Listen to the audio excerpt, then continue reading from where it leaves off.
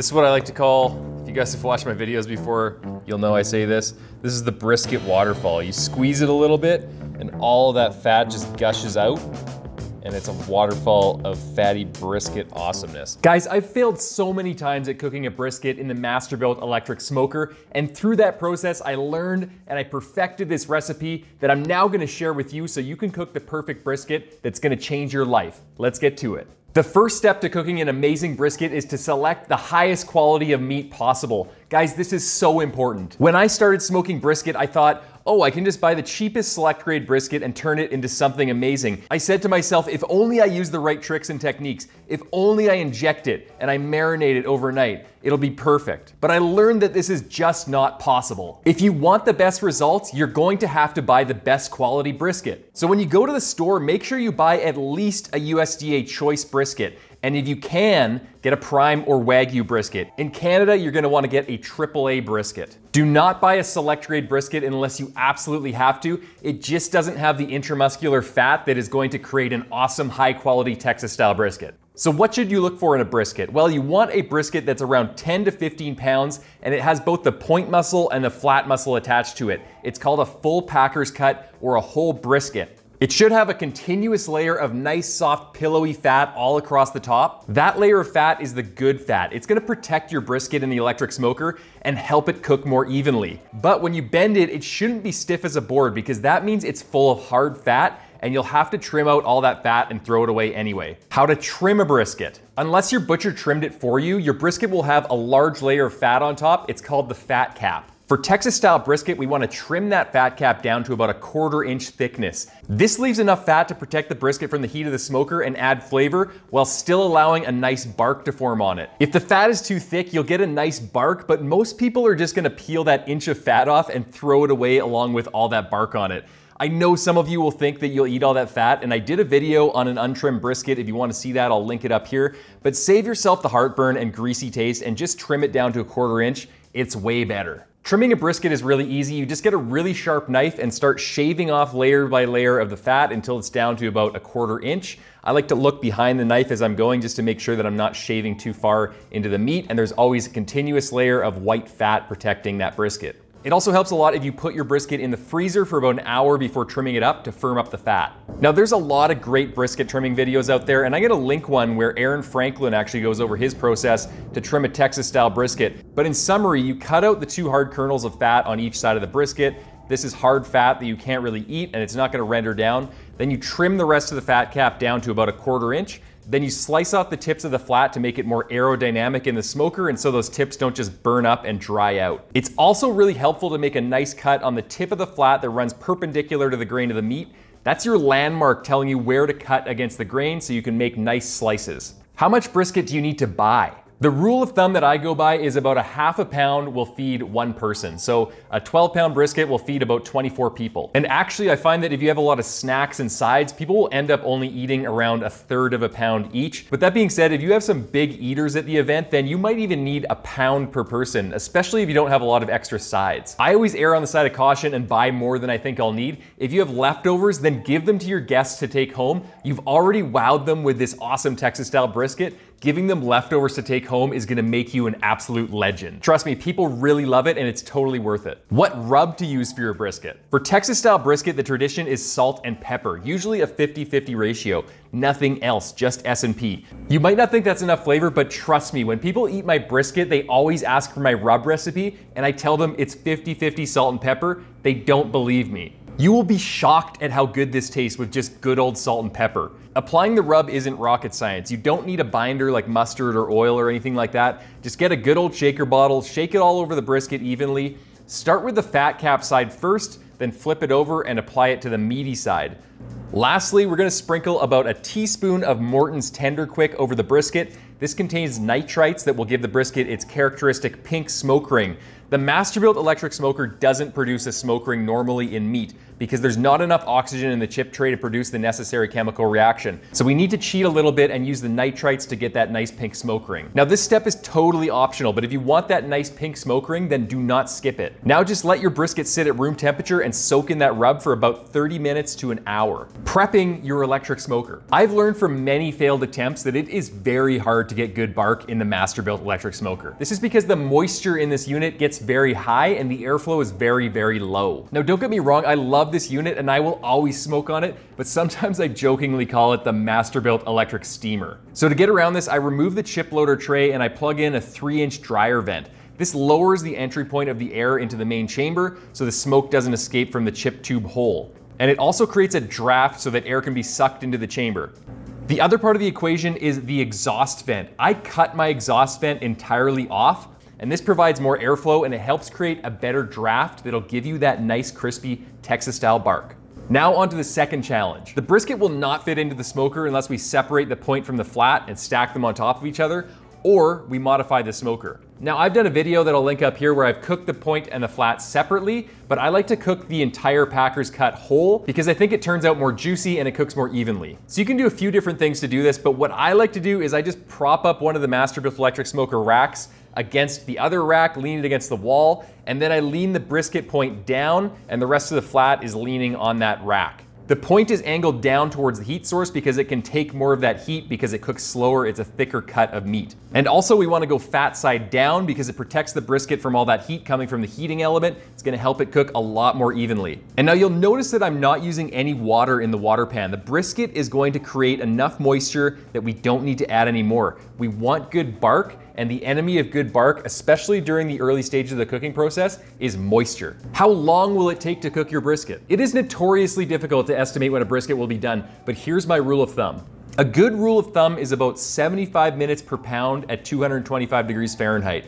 This assumes that you wrap it in foil at around 165 degrees internal temperature. It's a total cook time of between 15 to 19 hours depending on the size of your brisket.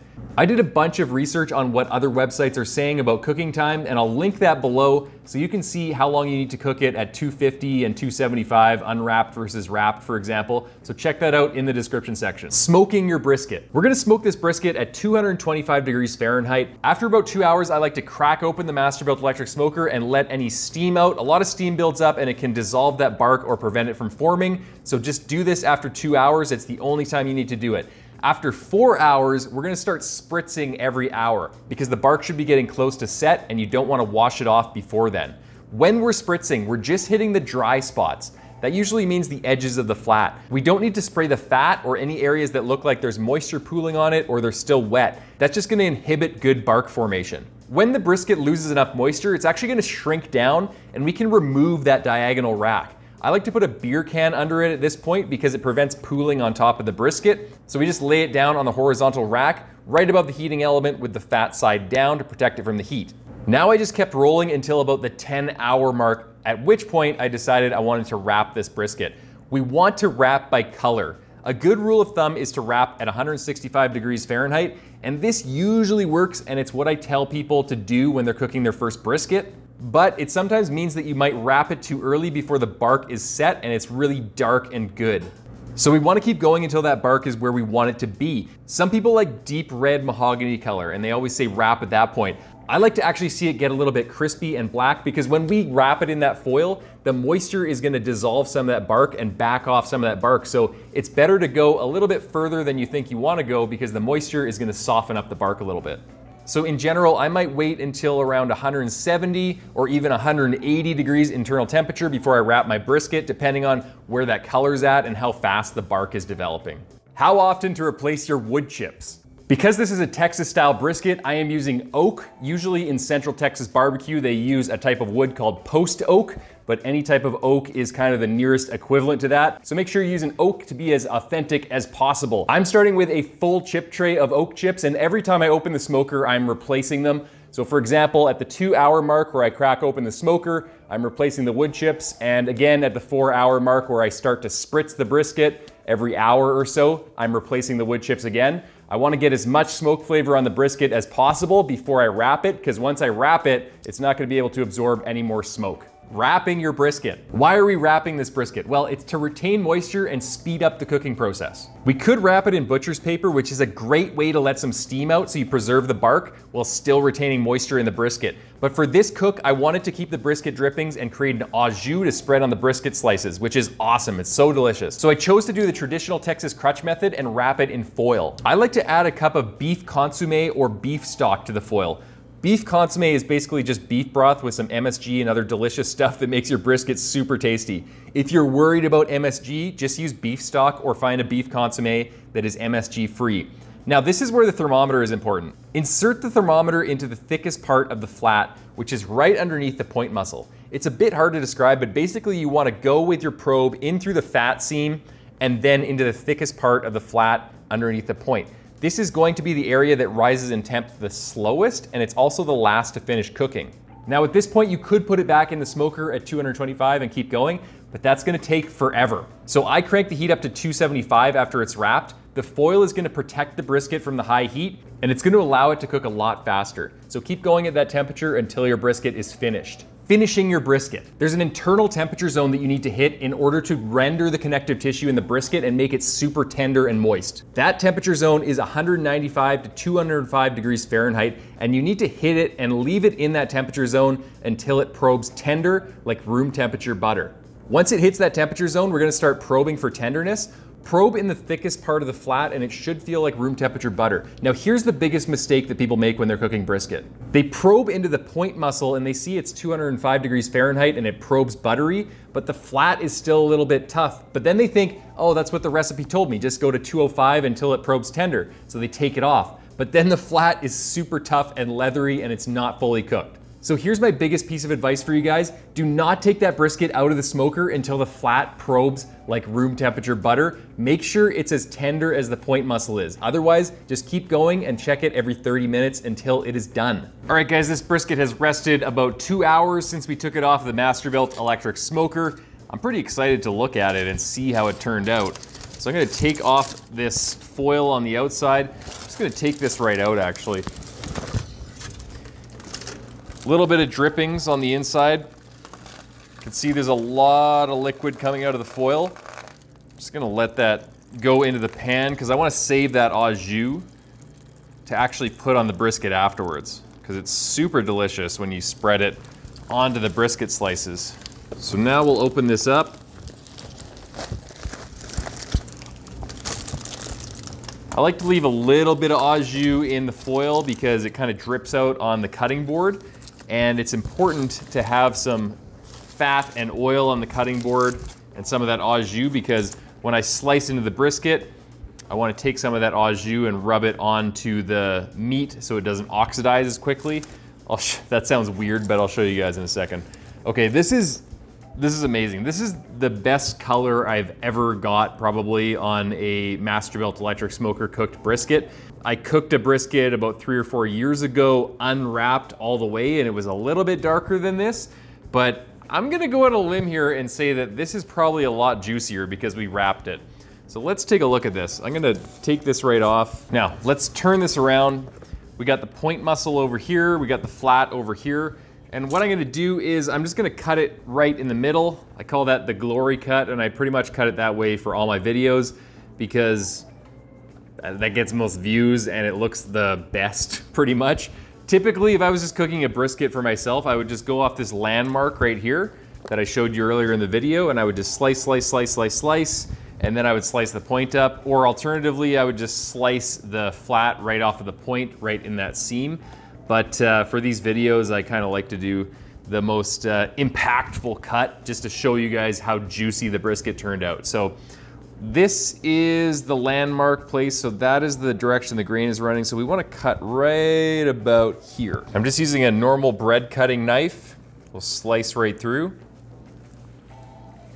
I can already tell that this brisket is perfectly cooked just from the resistance in the first few inches of cutting it. We'll open this up. Look at that, wow. This is what I like to call, if you guys have watched my videos before, you'll know I say this. This is the brisket waterfall. You squeeze it a little bit and all of that fat just gushes out and it's a waterfall of fatty brisket awesomeness. So now I'm gonna turn this upside down to prevent it from oxidizing. And in the same way, I'm just gonna get a little bit of fat on this face of the brisket so it doesn't oxidize as much. Then I'm going to take a slice. I'll try to do about a quarter inch thickness here.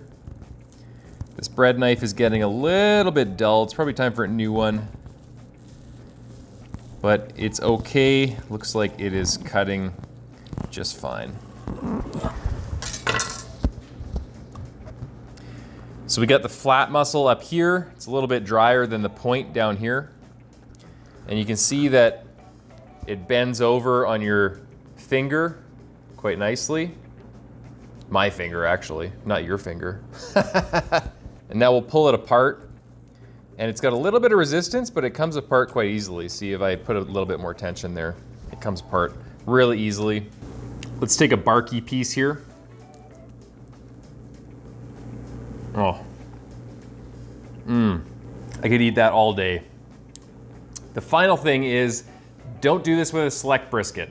Get a choice brisket or a prime brisket. A select brisket is gonna be much drier than this. You're gonna be cooking your select brisket and you're gonna be like, Steve, what is this recipe? You gave me this recipe, I followed it to the T and my brisket is dry. It's because you got a select brisket. So go for the choice brisket, spend a little bit extra money, or if you wanna spend some more money, get a prime brisket. All right, guys, see you in the next video.